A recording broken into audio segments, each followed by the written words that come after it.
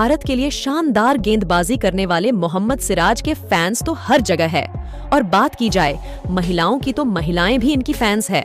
अब वो चाहे सेलिब्रिटी हो या भारतीय महिला क्रिकेटर अभी हाल ही में भारतीय महिला क्रिकेटर स्मृति मंधाना ने मोहम्मद सिराज से प्यार का इजहार किया है, जानेंगे। पूरी खबर लेकिन उससे पहले स्मृति मंधाना और मोहम्मद सिराज के लिए इस वीडियो को लाइक ज़रूर करें और चैनल को भी सब्सक्राइब ज़रूर कर लें।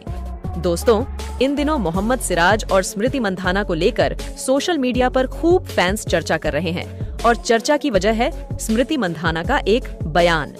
आपको बता दें कि एक इंटरव्यू के दौरान स्मृति मंधाना ने ये बात खुद कही थी कि वो मोहम्मद सिराज को काफ़ी ज़्यादा पसंद करती हैं और अगर मुझे शादी करने का मौका मिले तो मैं ज़रूर कर लूँगी। इसके बाद से ही मोहम्मद सिराज के फैंस ने स्मृति मंधाना को सोशल मीडिया पर बधाइयाँ देना शुरू कर दिया था। इस पर स्मृति मंधाना ने भी जवाब देते हुए बड़ी प्रतिक्रिया दे दी है।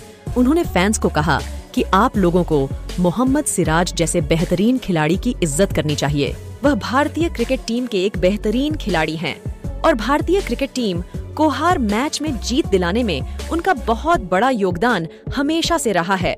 और आगे मोहम्मद सिराज से प्यार को लेकर स्मृति मंधाना ने कहा कि सबकी किसी न किसी को लेकर प्यार वाली फीलिंग होती है, और वही फीलिंग मेरी मोहम्मद सिराज को लेकर है। वैसे दोस्तों, यह तो हो गई स्मृति मंधाना की बात, लेकिन आपको क्या लगता है कि क्या स्मृति और मोहम्मद सिराज को सच में शादी कर लेनी चाहिए?